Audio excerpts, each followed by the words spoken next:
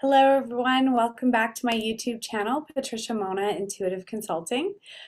Today I wanted to address the current situation where different countries are now saying that they are shooting down UFOs or unidentified flying objects. And I hear a lot of speculation that people actually think that these are alien ships that the governments are shooting down. And I just wanted to say, no, they're not.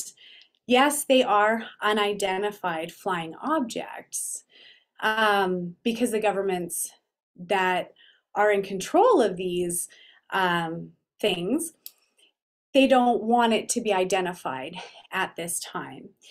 So a few years ago, I know there were certain psychics that spoke about a false flag event that would happen where aliens show up and it's the you know conspiracy theory of you know an alien invasion and when are the aliens coming? I think it was over the last two years that that came up and that became a question. Well this is it. This is the false flag event that psychics predicted coming to pass. So please don't be fooled into thinking that they're actually shooting down multi-dimensional beings and and crafts, you know, um, from outer space here to invade us. No, this is all part of their plan to say, look over here, don't look over here. So I personally think that the new drama and the new craziness of the world that we have seen over the last few years, it is still continuing because there are agendas that are actually taking place and being fulfilled that they don't want the average person to know. So this is where we have to ask ourselves what's what has been hidden that is now coming to light. So don't be fooled. This is not an alien invasion or anything like that. Um, I actually think that this could be the beginning of another big, really big world event that could possibly come to fruition in 2025. So all we can do is prepare, prepare our families, um, you know, make sure that whether it's food and water and, and resources and know who you can trust in a, and call on in a time of need, those are the things that we need to be focusing on because some things are way bigger than us.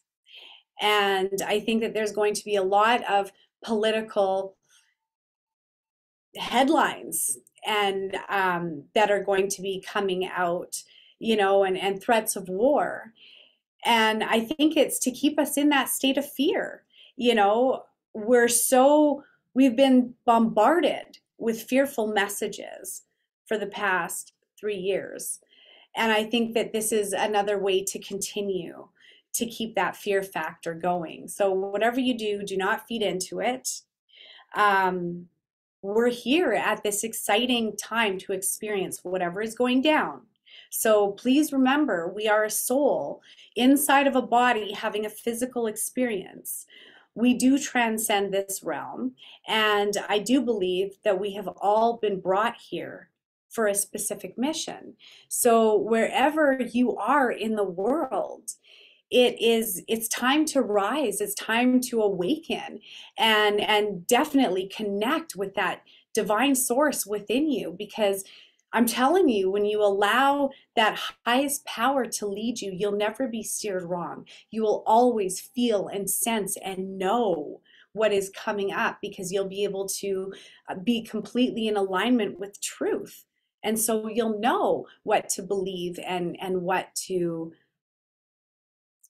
not feed into. So I hope that this answers a couple of your questions. I did remote view it. I do believe that the UFOs that the governments are now shooting down, this is the false flag event that the psychics saw coming. So let me know what you think. Leave your comments in in the comments section. I would really love to know what you guys think of this. And if there's any other remote viewers out there that has also remote viewed this event, um, let me know your comments. I would really love to hear it. So take care, God bless, and be well.